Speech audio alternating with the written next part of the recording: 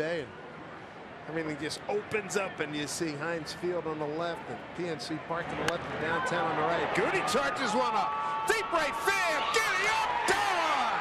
Home run. Franklin Gutierrez, his 10th of the year. 4-2 ball game.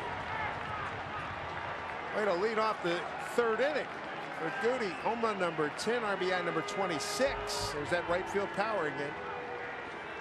And Liriano trying to get ahead of him with a fastball.